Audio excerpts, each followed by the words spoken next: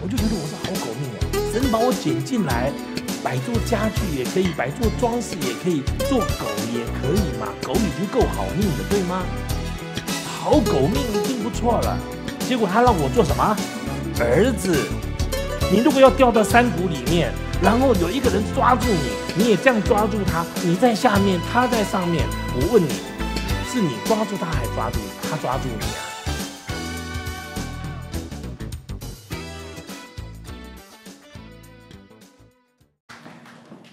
弟兄姐妹平安。今天我们要来看五福临门。我想没有人不想要五福临门，对吗？因为在过年的时候，我们华人有一句吉祥祝福语，就是五福临门。通常我们这样说，我们就很高兴，说：“哎呀，五福临门啊！”我想问一下在座，谁知道五福临门的是哪五福的，请举手。你看，我就知道不会有嘛，对不对？哈。因为我们就当成一个吉祥语来用了。我想绝大多数人都不知道五福临门是哪五福，请不要用 Google 查。现在拿手机我就担心，我就怕你们查，所以我先把你们查好了。它是语出书金洪范，这个五福其实还不错。一曰就是一是什么哈？一曰寿，长寿，要活得久。二曰富，富裕。就是你要有足够的啊使用的财物。三曰康宁，康宁就是身心都健康，还不错哎。古代的人很会想哎。三曰康宁，四曰优好德，优就是培养的意思，就是培养美好的品格。五曰考终命，就是要死得好。因为长寿不一定死得好，对吗？啊，有我我们这里有好几个医生，啊，有一个医生告诉我，现在医疗越来越进步，人类最后的那一段日子越来越可怜，因为时间拉长了。啊，他说以前呢平均三年就可以离开这个世界，现在平均要十年。所以我认识的那一位医生，他是全球知名的。胃癌的全球的专家，他六十五岁他就裸退，而且他退到什么程度呢？他是国家特聘的什么什么什么什么国家的什么什么什么？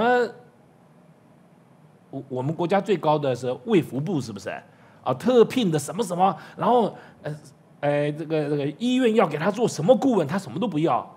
他说：“哈，我一生跟胃癌的病人这个相处，看到他们最后的日子，我想我就不要再考虑这个问题了，我自己好好过我的下半生。”他就开始过早上睡到醒，自然醒，自然后去散步，想吃饭就吃，慢慢的过生活。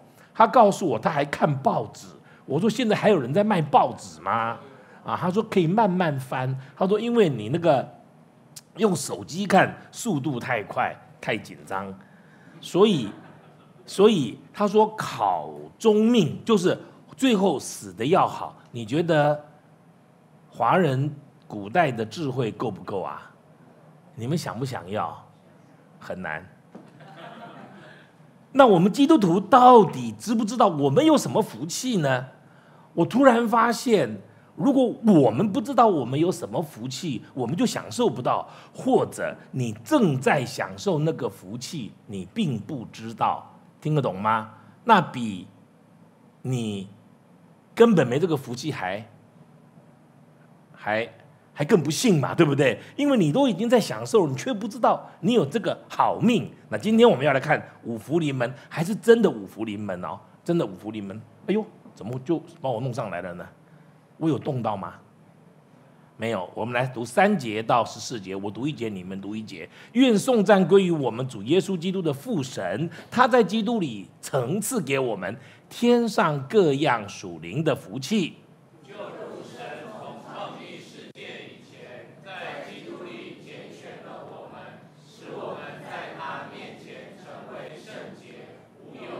又因爱我们，就按着自己意志所喜悦的预定我们。借着耶稣基督得儿子的名分，使他荣耀的恩典得到称赞。这恩典是他在爱子里所赐给我们。我们借着爱子的血得蒙救赎，过犯得以赦免，乃是照他丰富的恩典。这恩典是神用诸般智慧聪明，通通足足赏给我们的。都是照他自己所预定的美意，叫我们知道他旨意的奥秘。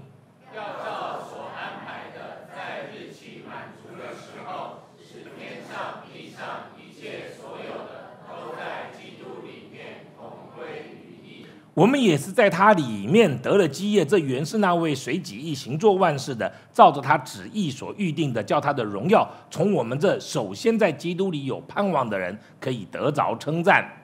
你们既听见真理的道，就是那叫你们得救的福音，也信了基督。既然信他，就受了所应许的圣灵为印。这圣灵是我们得基业的凭据，只等到神之名被赎，使他的荣耀得着称赞。好，这是一段非常啊、非常非常完整，神要给我们的恩典，这里面真的是有五个恩典。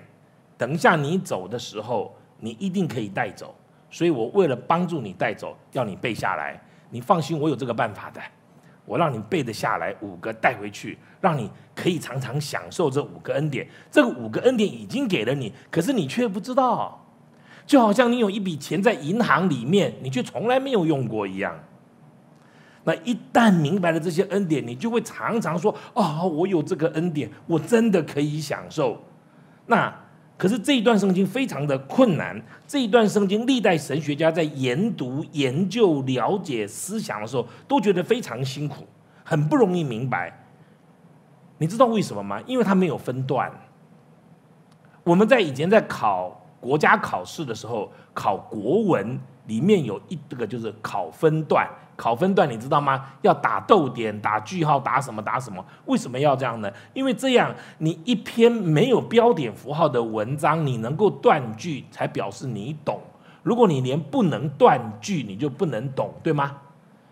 那这一段的困难在于它无法断句，对于我们而言，因为它没有标点符号，所以你就没有办法了解它到底什么意思。原来三到十四节只是一个句子，只是一个句子。因为这个缘故，到底怎么样能够把它讲解清楚就很困难。我上个礼拜有提到说，我第一次详详细细的读以弗所书，讲解以弗所书是在三十二年前。我记得那个时候我在读这段圣经的时候是非常的痛苦，所以我就研读了很久，怎么分段都没办法。以后我下定决心做一件事情，我就从头十三三节到十四节就念一遍，就再念一遍。就再念一遍，念到非常顺以后，我才想它到底是什么意思。我告诉各位，我念了几十遍哦，注意听啊，连续念几十遍之后，我发现一个怪怪的事情，怪怪的事情，什么怪怪的事情呢？就是三到十四节这么长的经文里面呢，只有十三节很奇怪。十三节怎么很奇怪呢？十三节说：“你们既听见真理的道，就是那叫你们得救的福音，也信了基督。既然信他，就受了所应许的圣灵为印记。”你说这节有什么奇怪呢？因为如果你没有从三读到十四，你不会觉得这节奇怪；如果你从三读到十四，就觉得这节很奇怪。因为三到十四节所有的代名词都是我们。只有这一节是你们听得懂我在讲什么吗？哎，保罗不是那个随便写的人，你知道他是个有学问的人。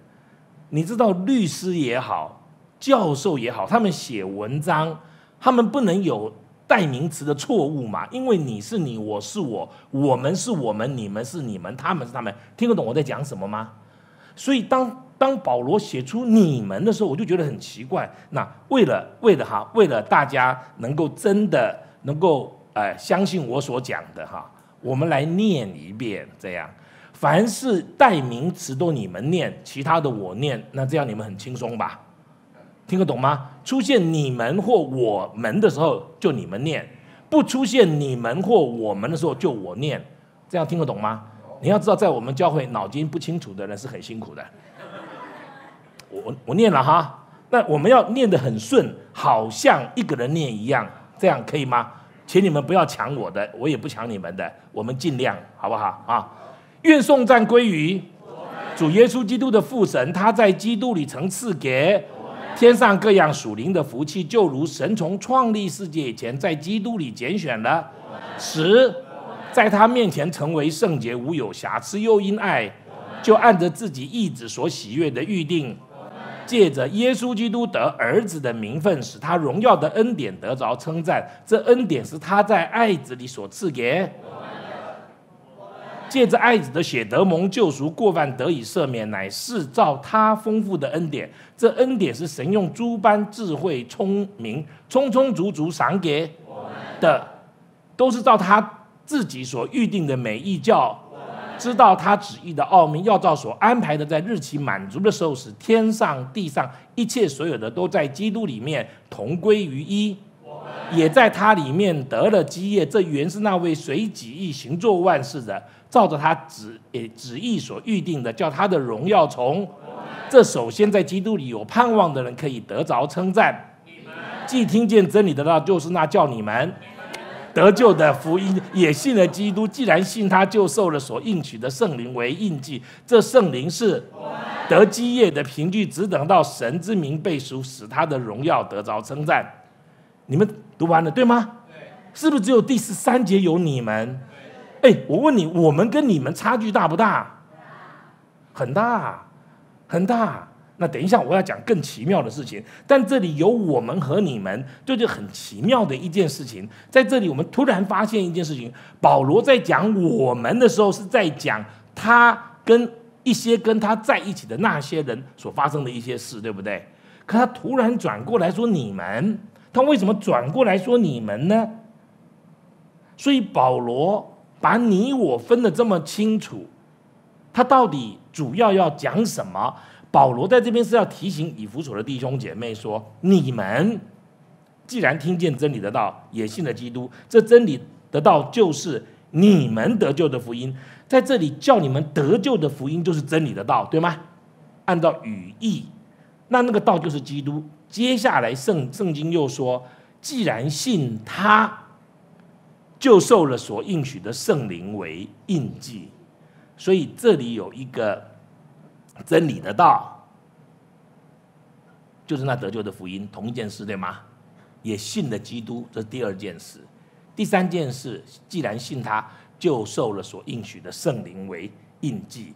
这就是五福临门的总纲。总纲是什么呢？总纲就是听神道，信基督，受圣灵为印记。听神道。信基督，受圣灵为印记。一章三节，我们一起来读，预备，请。愿颂赞归于我们主耶稣基督的父神，他在基督里曾赐给我们各各样属灵的福气。这里讲到天上各样属灵的福气是冒号，换句话说，从第四节到第十二节，就是在讲这个属灵的福气，对吗？我现在帮你们断句哦，因为你断句断完，你才能够明白哦。不然我们这里有很多各样学问的人，你要知道，只要用文字表达一段断句错误，你整个的影响会很大。那所以第四节到第呃第四节到第十二节是在讲那个天上属灵的福气。那么如果这个是天上的属灵的福气是这些东西，那么十三节十四节我们再来念预备，请你们听见真理的道。就是那叫你们得救的福音，也信了基督。既然信他，就受了所应许的圣灵为印记。这圣灵是我们的基业的凭据，直等到神之名被赎，使他的荣耀得着称赞。好，所以三到十二节，或者是说四到十二节，是在讲属灵的福气。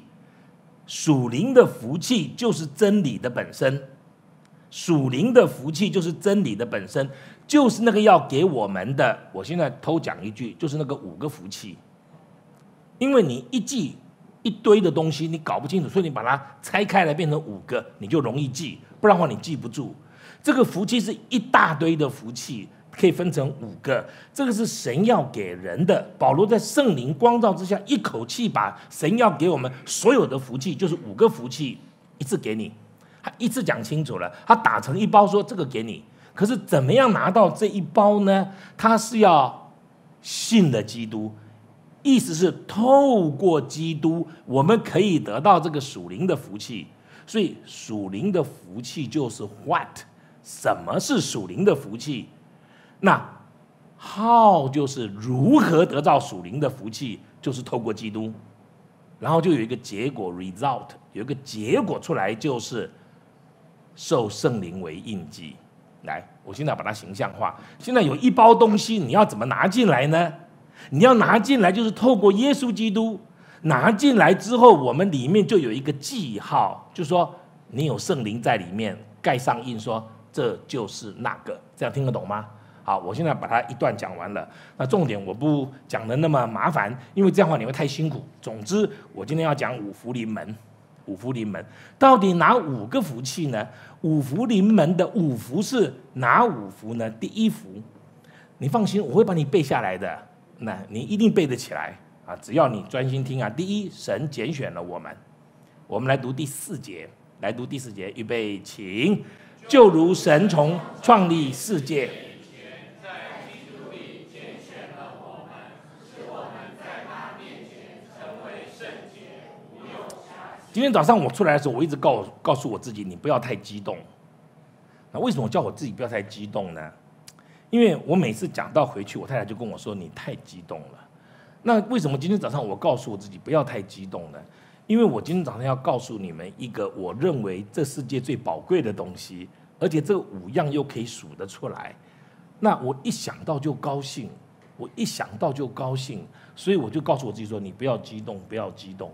第一个，神要给我们的福气就是他拣选我们，他拣选我我们。你说这是什么福气呀？这边讲到一件事情，是神拣选我们。第一个福气是神拣选了我们，这真的是一个很大的福气。你说啊，为什么是很大的福气呢？我告诉你，因为还好不是我们拣选的神，是神拣选了我们。如果是我们拣选了神，我们就会换神。有没有听懂我的意思？因为是你选的嘛，所以你可以换嘛。但是如果你是被拣选的，那就是看他换不换，对吗？我告诉你，因为神做事他不会今浊是今非，或浊非今是，他不会，他下了决定就是下了决定，所以还好是他拣选了我们。你知道这个对于一个自我反省很深的人是一个多大的保证？因为是他拣选了我们，所以我不会失去。听得懂我在讲什么吗？如果是我拣选了他，那有一天我会放弃，我会放弃。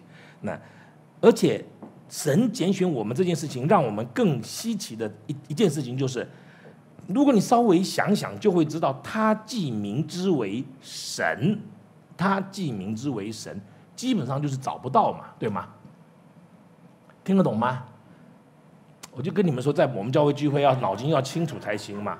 他如果是神，你还找得到他，他就不神了。不然怎么会有神龙见首不见尾呢？不然我们怎么说神出鬼没呢？他既然是神，你就找不到他，你就找不到他。所以不是我们拣选了神，是神拣选了我们。我因为以前在大学教书的时候，需要研究台湾的民间信仰、台湾的民间宗教。我告诉你，我我对台湾的民间宗教是是很。是很了解的。最近欧华跟我说：“李长老，你要不要帮我们开世界宗教的宗教比较？宗教比较，我我是很喜欢这些东西的。我在台湾的庙里面呢，我走进去能够告诉他这个庙是拜什么，怎么拜。我是这么厉害的。有一次我进到一个庙里面去的时候，我进去庙说，我就看他他怎么这样呢？我就去问他们说：，哎，请你们住持来一下。他就住持来就说。呃，请问有什么？我说，我说，你们主事神啊，你们都没有听，你们都没有听过这么专业的名词，对不对？主事神跟陪事神，主事神就说这个庙里面，它一定中间有一尊，旁边有两尊，这样听得懂吗？主事神跟陪事神是不能放错位置的，就是你主要拜的那个神跟旁边的两个是陪他的，所以他大小仙都不一样嘛。我说你们怎么把主事神放到旁边去，把陪侍神放在中间呢？这个是不合规定的。他说因为呢，这么多年来拜主事神都无效，拜陪侍神都有效。所以我就把它移动，我们就把它移动了。我说你不能移动这个东西，因为人家是有规矩的。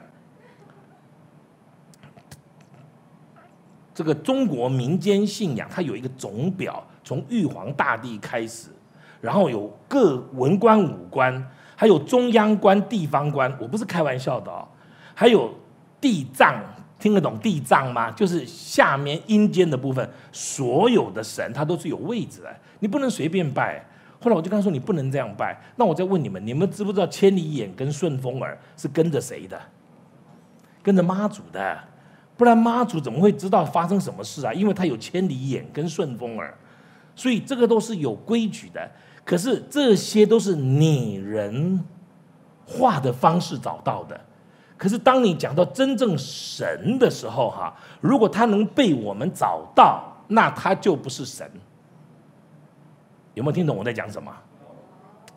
所以这里说神拣选我们，你要知道哦，这是多么伟大的事情，是神来找我们，是他选了我们，不是我们选了他，因为我们找不到他。好，就不要管说找不找得到了哈。我还我还来讲一点哈，我是不知道你愿不愿意找神呐。我们不仅不愿意，我们不仅找不到他，我相信如果你稍微再清楚一点点，我们也不愿意找他。了解吗？我们不愿意找他，因为他如果至真、至善、至美，你有事没事去惹他干什么？因为我是不知道你觉得怎么样，我觉得我是一个不完全的人，我是一个，我是一个不够的人。如果你常常想，你就会知道这件事情，你永远不够，你永远不足。刚才唱诗唱了一半，后来我就坐下来，因为我怕上来讲到的时候一直哭。因为刚才唱了一首诗歌，说我没有金钱跟财宝，对不对？重点不在金钱跟财宝。他后面说一句话，说我没有这些献给你，我只有把我自己献给你。不是哈，我们现在倒过来讲哈。我假如我是神，你们说你要把你献给我，你猜我要不要？香槟阿奇，我才不要你呢！我是至真至善至美的神，我为什么要你啊？听得懂我在讲什么吗？所以当我在那边唱的时候，我就说：我可以献给神吗？他会要我吗？那但是我为什么会哭呢？我为什么会感动呢？是因为我知道他会要我，我不配，他会要我，所以我告诉你哈，没事别找神，他是至真至善至美的神，你就不要找他，因为他不应该理你。那我我我我不仅研究东方的神。我也研究西方的希腊宗教里面的神，问你希腊宗教里面的神是不是每一个神都有缺陷？听得懂吗？因为在在希腊神里面不能没有缺陷的，没有缺陷的话呢，那我们就不敢亲近他。明白我在讲什么吗？所以第一，他什么了？我们这样听得懂吗？你如果要掉到山谷里面，然后有一个人抓住你，你也这样抓住他，你在下面，他在上面。我问你，是你抓住他，还抓住他抓住你啊？这样听得懂吗？如果是你抓住他的话，你一定有一天会没力气；但如果是他抓住你的话，他只要够力气，你就跑，你就不会掉下去。所以神拣选我们，这个是很大的福气。在这里，我们看到一件事情，就是神拣选我们。他的拣选不会错，所以我们再来看这边了。你看啊，从神从创立世界以前，在基督里拣选了我们，使我们在他面前成为圣洁，无有瑕疵，对吗？那这是一个描述句。如果因为这里有很多的是动词、分词，什么很多的麻烦，我就不要讲那个文法上面的问题。这个是说神拣选了我们，是他决定的，而且。他的目的是叫我们有一天在他面前成为圣洁，无有瑕疵。这个是地位上的利己，这个我们放一边，因为地位上是很难明白的。但是在过程当中，你会知道你的神的目的是让我们成为圣洁，无有瑕疵。换句话说，神要我们的过程当中，最后变成一个没有瑕疵的样子。所以这是个过程。明白我在讲什么吗？你知道有一些人哈，很很很皮，而且很把责任推在别人身上，就反正我犯错又怎么样？我就是你儿子，我要这样，你要怎样？对吧？哈，这是一种很皮的孩子。很皮的孩子呢，你不要忘了，神希望你成为圣洁，无有瑕疵。另外一种孩子是很怕得罪父母的孩子，他就一天到晚说：“我做错了，你会不会责备我？我做错了，你要怎么样怎么样？”你知道孩子有分这两种对吗？这两天哎，这几天啊，我我我李真的儿子跟女儿在我们家，他们家两个孩子就是两种样子啊。老大永远觉得自己是做的不够好，他一。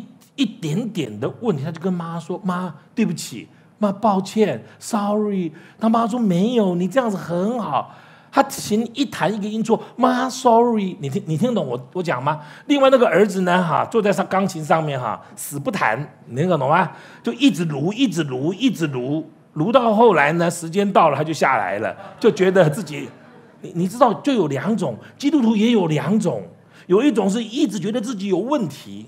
我要告诉你，神是结果让我们成为圣洁无有瑕疵，所以可以错，放心。但下次错的频率降低，可以吗？错的次数减少，强度减减弱，这是一种。另外一种呢是哈很皮的，有没有？那一种我要告诉你，神对你的是有目的的。所以五福临门，第一神，这样清楚吗？神什么？好，为了要让你记得住，现在把门去掉。第一，神神拣选了我，神拣了第二，第二，第二，那拣选我们要要做什么呢？神拣选我们，预定我们得儿子的名分。拣选了我们得儿子的名分。第二个福气是什么呢？我们读五节六节，预备，请。又因爱我们，就按着自己意志所喜悦的。预定我们借着耶稣基督得儿子的名分，使他荣耀的恩典得着称赞。这恩典是他在爱子里所赐给我们的。这里提的第二个福气是什么呢？就是预神预定我们得儿子的名分，预定我们得儿子的名分。哎，我们以为神拣选了我们，就是把我们从外面捡进来嘛，对不对哈？哎，你从外面捡进来一个东西，拿来做什么？做家具有没有可能？从外面拿一个东西进来嘛，哈，做家具有没有可能？第二个做宠物有没有可能？但是神不是哎，神神把我们拣选进来。刚才我们讲，我们认为自己不够好，我们认为自己有问题，可是神拣选了我们，让我们做他的儿子。你说做儿子是什么意思啊？弟兄姐妹，神不仅拣选了我们，而且给我们儿子的名分。我请问你，什么叫儿子？好，你就算没有儿女没关系。我告诉你，儿女是很容易明白的概念，对吗？因为你自己有没有儿女，你也是别人的儿女嘛。我问你，父母跟儿女的关系，这个儿女是什么意思呢？儿子是指最亲爱的意思。最亲爱的意思，什么叫做儿子呢？儿子是有生命关系才叫儿子嘛。第三，什么叫做儿子呢？儿子就有像他的意思。好啊，因为李真刚回来，所以我常常会想到儿子，平常也不想他的。他最近几，他最近两个礼拜住在我们家，一家四口。那昨天他要走，那车子来了，他就下去了。行李放好之后，他就走过来，然后就抱我，就抱我。他就抱我，他就说：“爸爸，你不要太累啊！”我说：“啊，我说，我说好，我说我不要太累。”那在这过去这几天当中，我们常常在一起，他有事没事就来摸摸我，就碰碰我，就坐在我旁边的就就就就挤一下，这个是亲爱的意思，听得懂吗？他已经大到自己有孩子了，明白父母是怎么的爱他，所以他现在已经会回馈了。他就是过来碰碰你，他也好。他抱着我，我就跟他说：“好，我说你们在美国也不要太辛苦了，是亲爱的，亲爱的。什么叫做儿子呢？儿子就是有生命关系的。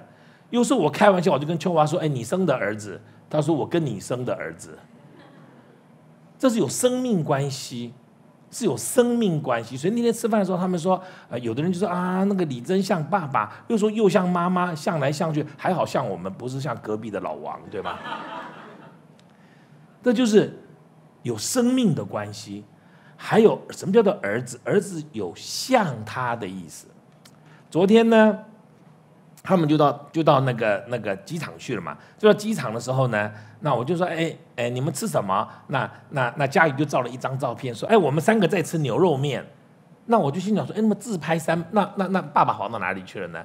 我说我没讲话，后来就说哈，爸爸使命必达，啊，爸爸。就说李真使命必达，他儿子要吃麦当劳，他就舍弃自己吃牛肉面的时间去买麦当劳，这样，那我就说哇，我说我年轻的时候都没有这么使命必达这样子哈，但是呃，他们的回应是你当然有，这个叫做像。好，我现在讲的儿子，弟兄姐妹，你最爱的是什么？我可以告诉你，如果你有儿子，就是儿子；然后女儿一个儿子是一样的。我现在是省略啊，请不要有误会啊。就是有，就是儿女。有的人说没有，我最爱车子啊，我更爱钱，因为我儿子呢不太成才，不太成器，我很伤心，我宁可要房子也不要儿子。你最好不要乱讲这种话，听得懂吗？因为很多人自己要什么，自己想什么，自己爱什么，是没有比较之下是没办法。解决的没办法想清楚的，等到事情一发生的时候，我告诉你，你卖房子、卖车子、卖任何东西，就是为了把你儿子换回来嘛，不就是这样吗？所以事情发生才会知道到底是怎么结果。很多时候，爱是一个是一个很特别的东西。神拣选我们之后，你注意听啊。神拣选我们，不是把它摆在那边，他要自己看好玩的，或者不是把他那边啊养做宠物的。神让我们做他儿子。有一次我到我们教会一个弟兄的家里面，一对夫妻的家里面去，那个弟兄里面家我去过。那我现在因为也是时代，也是我现在比较不常到你们家里去。以前我在牧会的时候，从三十几岁开始，我是一家一家去看，所以很多家我都知道他们家的长相怎么样。那天呢，我就去他们家，因为呢不是第一次去，我就进去的时候呢，我一进去，他们家就有一条狗扑上来，扑上来，那我是吓一跳嘛。他们家没有养狗啊，什么时候养了一条狗就扑上来，就一直弄弄弄弄。后来他就说：“再走开啊！”就这样嘛。后来我就说：“说哎，你们家什么时候养狗了？”他说：“我前不久。”他前不久啊，一段时间之前呢，我在公园吃面包的时候，有一只身上都没有毛的狗走过来，这样。就是要吃东西，他只好丢个面包给他吃，然后那狗就不走，他就丢个面包给他吃，后来就把整个面包吃完了。心想说，我也不是只有喂你吧，我要吃吧，就他就回家了。他回家说，那狗就一直跟在后面到他们家，就到他们家就不走，就在他门口等。他就就就叫他走，不要不要他不要养那狗的身上脏嘛，有而且主要是三条腿，知道吗？有一条腿受伤了，可能是被。养的人就不要了，这样身上都是长满了东西，他就不要了，不要东西。后来他就那狗就不走，后来他就只好把它说跟他太太商量说，我们就干脆养它吧，就养。没想到养了出来之后呢，哈，就把它洗干净，就放在家里面慢慢养，慢慢养。它身上的毛都长出来了，原来是黄金猎犬。是有人丢掉的，可能是因为它是脚瘸了的关系，他们家人就不要了，就把它丢了。他就哇，就很漂亮，然后就就那边跳跳跳，然后就在那边跟我讲。后来他就跟我讲，他说这个狗进来的时候，哈，啊是啊啊，人家不要的，他把它收进来之后呢，给它吃的好，住的好。他说哈，这个狗没想到越来越越来越嚣张，啊，爸爸。妈妈哈叫爸爸妈妈嘛哈，你们养狗养猫都这样叫嘛哈。说爸爸妈妈晚一点回来，他还不高兴，还对着主人一直叫一直叫。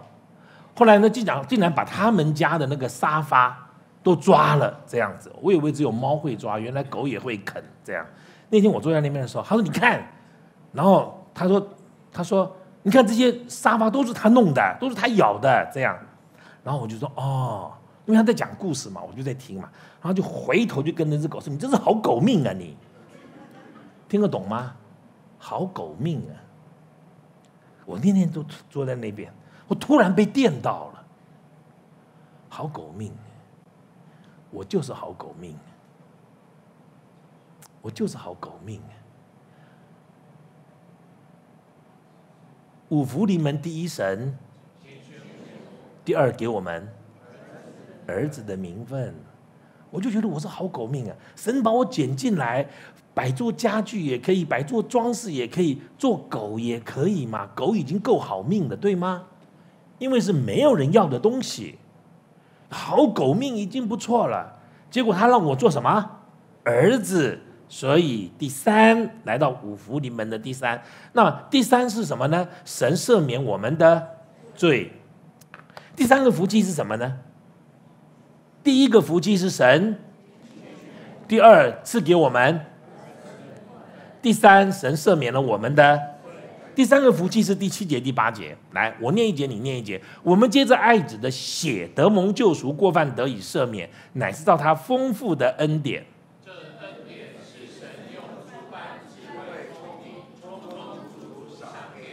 这里说，我们借爱子的血得蒙救赎，过犯得以赦免。我们又发现一件事情，就是当我们做了神的儿女，我们还会软弱，还会犯罪。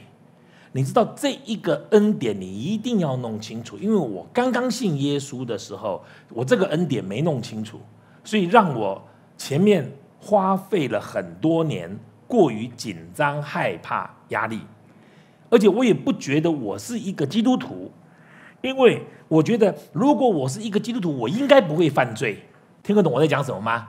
因为我是属神的，我怎么会犯罪呢？可是按着顺序，他先讲给我们儿子的名分，这样听得懂吗？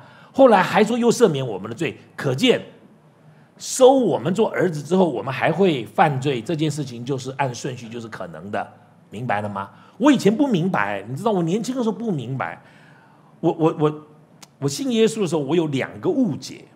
第一个误解是有上帝在我旁边，我是 Superman，Super 到什么程度你知道吗？我以为说我走在路上的时候呢，狂风暴雨不会打到我，我有一个保护膜。后来那个超人特工队里面有演出来，我就以为我是那样的，就是有个保护膜，他打不到我。第二个就是，我以为我信了耶稣之后，我再也不会犯罪。就这两个，我都发觉没有哎。你听得懂吗？所以我就对我儿子的名分害怕起来。如果我是儿子，我为什么还遭受狂风暴雨？不幸的事情会临到我。第二，我为什么还会软弱，还会犯罪？原来得儿子的名分是地位的问题。你是儿子，这样了解吗？但你还会软弱，还会犯罪，还会跌倒。还会遭受不幸，这个是很正常的。因为这里说第三，他就赦免了我们的罪，所以这里讲到赦免我们的罪是一个很奇妙的福分，就是神给我们一个儿子的名分以外，当我们软弱、我们犯罪的时候，神会赦免我们。我想你只要稍微了解人世间神所创造的人的家庭里面，你就知道。我问你，做儿女的。得不得罪父母？我现在不要讲父母对不对，好不好？父母对不对，那另外一回事情。我问你，儿子有没有得罪父母？一定的嘛，一定的嘛，因为他不懂，他不是故意的，或者他有，他不是他他知道该怎么做，却做不到，这种很正常啊。我知道要怎么做，我做不出来。我觉得爸妈对我很好，我要说谢谢，我说不出口。我做错了，我不要。承认这个都很正常，因为如果你了解这个事情之后，你就会知道说，做儿子跟做好儿子是两件事，对吗？因为儿子是身份问题，好儿子是表现问题。神是先给我们儿子的名分，然后让我们慢慢的明白，然后表现出来。所以赦免我们的罪，他赦免我的罪。其实没有一个人不知道自己有罪。我常常在跟很多人谈的时候，他们就说：“你们基督教最讨厌的就是讲罪，因为你一讲呢，就把我贬得很低。”我就跟他说：“那是因为你不了解佛教。如果你了解佛教，你就地位更低了。如果你知道各种宗教没有一种被称为正教的。正教听得懂吗？正教就是它不是邪教，正教就是它是一个啊，大家都公认说我可以不相信你，但是我不可以说你不对，这这样明白吗？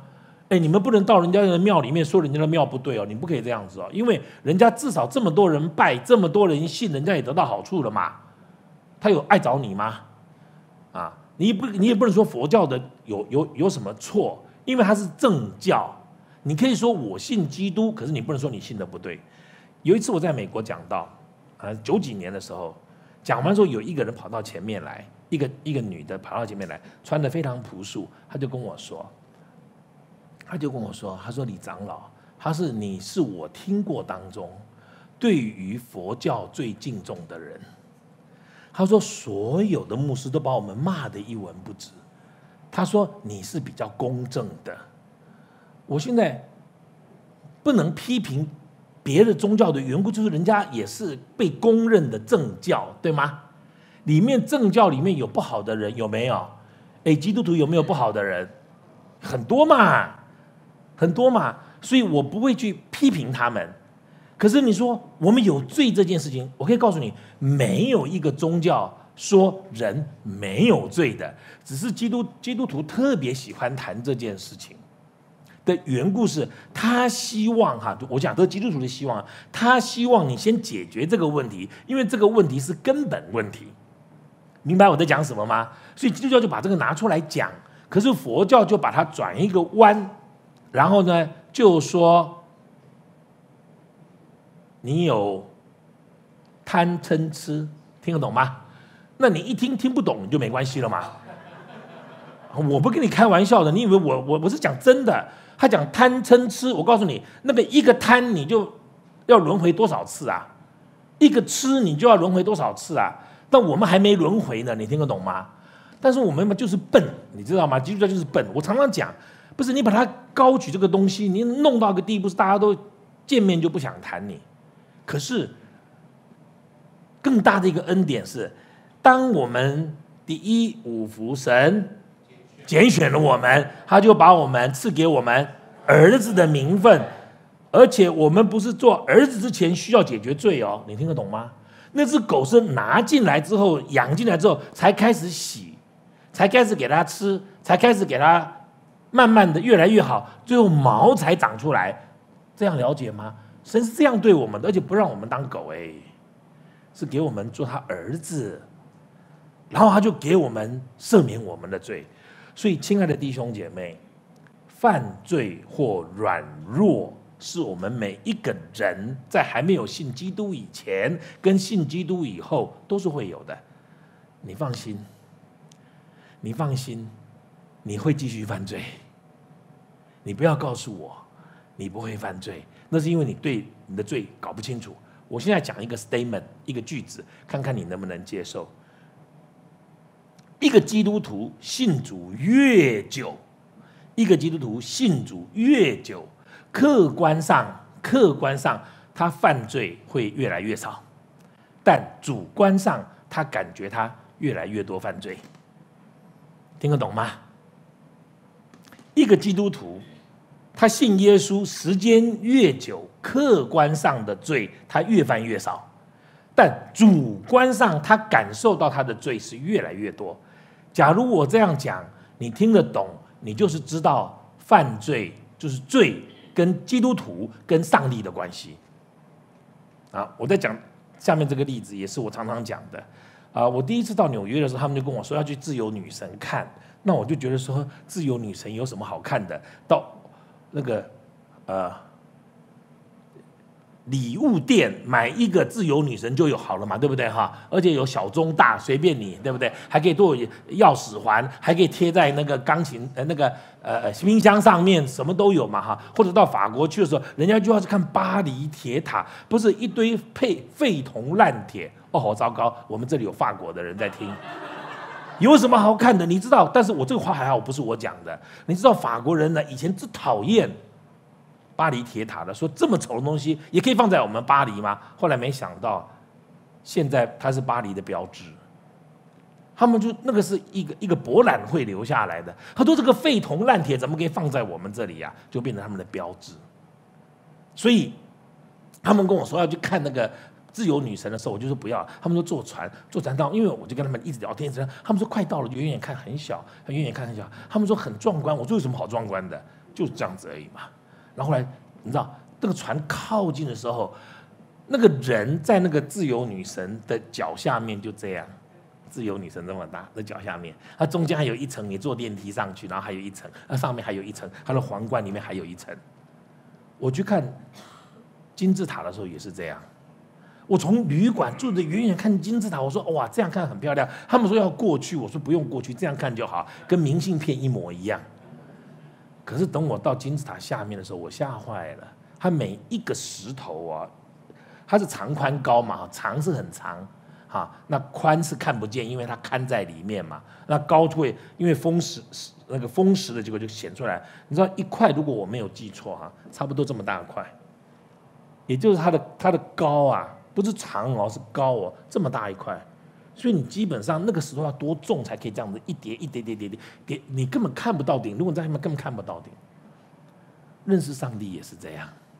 我相信刚刚来我们教会的弟兄姐妹一定受不了我们教会的敬拜。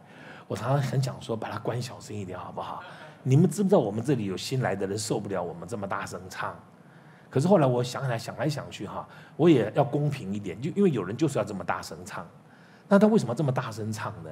因为连这么大声唱，他都不觉得他能够感谢神、敬拜神。有听懂我在讲什么吗？所以大家互相忍耐一下。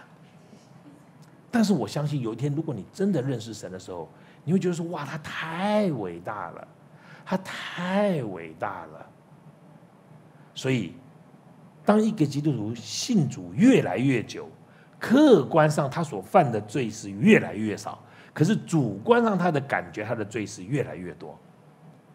我随便举例，我信主已经五十多年了啦，算是久了。那很多事情我也是跌倒再站起来，跌倒再站起来。很多人不敢讲这个话，很多牧师，我可以告诉你，我们跌倒的比不跌倒的次数还多，我们失败的比成功的次数还多，我们犯罪的比没有犯罪的次数还多。很多人说李长老，你这样讲会让我们软弱，不是？不是你跟我一样，我也跟你一样啊。你要知道我是人，不是神嘛。我也常常做错事情啊，而且做错事情，我就会觉得是，说我怎么又错了？可是这个我认为我错这件事情，别人看并不太错。明白我在讲什么吗？那为什么别人看不太错，我觉得很错呢？是因为我更敏感了。有一天我跟神吵架，为什么呢？因为在疫情期间，那我就我们大家都关在家里嘛，哈，那就跟神有更多的互动。有跟神有更多互动的时候，我就发觉神对我很挑剔，很挑剔，这样也不行，那样也不行。我就跟神说：“你为什么要这样呢？你需要这样吗？”后来我突然发觉，原来。神以前是用公尺在量我，这样听得懂吗？现在突然改由公寸或公分在量我了，所以我以前可以接受，是因为神说两公尺啊，我说啊知道了。现在神跟我说两百公分呢，不，你需要算那么仔细吗？所以这是我们个人主观上的感受，但是好消息告诉你：第一，神拣选了我们；第二。让我们做儿子的名分。第三，赦免了我们的罪，这件事情是第三个第三个福分。第四，第四五福临门的第四个内容是神让我们参与在他的旨意中。第四个福气是什么呢？让我们参与在他的旨意当中。来，我们来读第九节、第十节，预备，请，都是照他自己所预定的美意。叫我们知道他旨意的奥秘，要照所安排的，一切所有的都在基督里面同归于一。神已经拣选了我们做他的儿子，而且在做儿子之后，我们常常软弱，他还常常赦免，常常接纳，常常保护。当然，太不乖，打打屁股也很正常，对不对？因为这样才知道真爱你。如果他从来没有处理过你，从来没有修理过你，你你不会知道他爱你。好，不仅如此，第四个神的福气是让我们参与在他的旨意里面。我我我我，我想，因为你信主的时间比较短，我信主的时间比较久，我觉得能够靠近他都已经是最大的福气了。他竟然说：“哎，要不要跟我一起工作？”哎，按我人来说，我是觉得不敢；但按我所得着的概念来说，这是个荣耀，这是一个荣誉。这是一个很高兴的事情。他说：“你来参与在我的工作里面。你知道，只有只有当一个儿女受到爸爸这么重视的时候，他爸爸才让他参与他所有的事业，参与他所有的思想，参与他所有的一切。上帝把我们找进来、救进来，不是摆在那边做装饰品。上帝把我们找进来，不是让我们做家具。上帝把我们找进来做他儿子的。”可是不止如此，神还跟我们说：“来参与我的工作。”我下面只是举例，请你不要，请你要知道，我没有任何的立场啊！我我我只是举例啊。最近不是有一个有名的法律案件宣布了吗？有一个遗产，张荣发的遗产，后来现在判决出来，我们先不管这个判决的对错或真实状况如何，我先不管。据说张荣发写了一个遗嘱，把他一百四十亿的钱全部留给他的二二房还几房的第第第几个孩子，叫做张国伟，对吗？他你知道张国伟其实做过长荣集团的总裁，也就是他做他爸爸的的总裁，他做他爸爸那个。后来他们当然就把他赶出去了嘛，哈。那他又做过利荣的董事长，他也做过长荣航空的董事长。反正他们家里的事先不要管。可是，假如那一个遗嘱是真的，假如呢？现在法院认证是真的嘛？那我们只能说它是真的嘛，对不对哈？那我们就不要管了哈。就假如是真的，那你觉得张荣发为什么这样呢？我们现在只是讨论呐，张荣发为什么这样呢？一定是张荣发觉得说哈，假如是他的，一定是张荣发觉得说说哈，我遗产这样分掉不好，我集中在一个人身上，让他可以继续我的置业，这样听得懂？这合不合理啊？你知道上帝要我们做什么吗？上帝把我们拣选出来，拣选蔡宏昌啊，拣选这个这个这个 Tony，拣选光州，拣选我们所有的人，他是要要我们参与在他的他的整个的整个的计划里面。我常常跟很多基督徒说，他们常常很多人跟我说说，李长老，神使用你，但神不会使用我。我记得我上个礼拜已经跟你们说过那个医生，对吗？医生传福音比我们传福音容易多了。真的很容易，我们传福音很难呢。就好像你，你做一个医生，你要跟别人讲道，你也很难嘛，你那个懂吗？因为是跨行了嘛。可是你传福音很容易啊。其实神给我们每一个人都参与在他的计划里面。我知道我这样讲，你们一定觉得说我能做什么？哦，我现在只能告诉你，我不知道你能做什么，但是我知道你能做什么。我不知道你能做什么，但是我知道你能做什么。我不知道你该做什么，但是你一定能做什么。那个做什么得你去找，我没办法帮你找。我连我自己都找得很辛苦啊！我现在还在想说，哎，我还要留在欧洲吗？我现在还在想说，那我这个工作要继续做吗？我也在找我自己的下一步，这样明白吗？可是这里神答应我们第四个福气哦，你要讲这是第四个福气了，那个福气就是神要给你的。好，这第四个福气哈，就是我们参与在他的工作里面，对不对哈？你要知道这个要找，这个要努力，但是他是已经答应我们了，就好像我们华人的那个五福的第四个叫做优好德，对不对？那个优就是培养。培养，也就是说，你的德性是要去怎么样培养的？好的德性不会自己跑出来。那次我儿子媳妇他们回来，我我们常常在一起聊天，那我就讲了一句话，我说根据我多年的经验，我的媳妇坐在那边，我就跟我那天好像儿子不在，那我就跟媳妇说，我说啊，自人自然而然，人自然而然产生出来的都不不太是好东西。听得懂吗？人自然而你一放松，自然而然产生都不是好东西。你要规范，或者你要有一个目标，或者你要有一个指导，你才会产生一个好东西。你要用脑子才会产生好东西。你如果是自然的产生出来，都不是好东西。团体也是这样，团体自然产生的习惯都是不好的习惯，不好的文化，要必须有计有计划的做，有规范的做。所以要优才会有好德，优就是培养。这边也是一样，你要找到你自己，谁要你参与什么？我是说这个是个福气哦，你能懂？福气就是你已经拿到了，你拿到，可是你要去怎么用，怎么找？这样这样讲得清楚吗？我应该讲得很清楚哦，我自认为讲得很清楚。如果你听不懂的话呢，那我下次再改进一点点。啊，五福临门，我讲了四福啦。第一是神，第二个给我们儿子的名分。第三，不管你是不是儿子，是儿子以后，他还赦免我们的罪。第四，他让我们参与在他的所有的事情里面。前几天我们吃饭，我们几个人吃饭哈，呃呃，其实是呃芙蓉豆腐吃饭。那坐在隔壁，我坐在啊我们教会一个弟兄姐妹的隔壁。那我就跟他讲说，我本来是怎么样，因为他我们以前是读一样东西出来的。那他现在在这一行很有成就，那我就有一点点觉得说，哎呀，我要是当时像他，我也可以蛮好的。我就这样讲，我就这样讲。可是那个时候呢，我的老师本来要我走他那一行，但是我就没有走，我就去做传道人。那后来那位弟兄姐妹给我讲了一句话，我我很得安慰，就是因为我老师曾经跟我说，在他离开这世界前，他曾经跟我说，他问我几次去看他，他年纪很大嘛，他说他他好几次跟我说，李健，他说我想你是走对了路，他说你是走对了路，这样。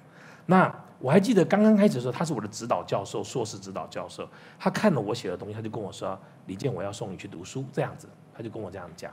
我就说老师，后来我就好，我就快要毕业，时候，一个老师，老师我我我将来要去做传道人，所以我可能不会再花时间进修法律这样。